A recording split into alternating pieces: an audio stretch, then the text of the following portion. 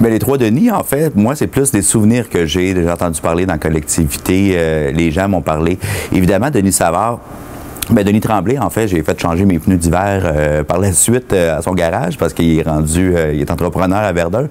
Mais Denis Savard, pour moi, c'est quelque chose de spécial parce que son père, à l'époque, Arthur, avait un dépanneur au coin de la rue Verdun-Piriel, le dépanneur Savard.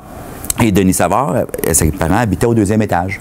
Puis euh, quand j'allais au dépanneur, mais je tombais sur Denis Savard. Puis quand on arrivait là, Denis Savard pour nous autres, c'était Dieu. C'était un modèle à suivre, tout ça.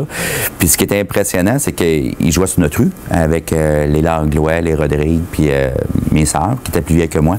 Alors Denis Savard était très impliqué, il était dans, son milieu beaucoup. Même quand il jouait à Chicago, une fois qu'il était repêché, il revenait au Parc Wilbrod l'été pour jouer au baseball, puis il arrivait avec, je me souviens, sa Porsche rouge.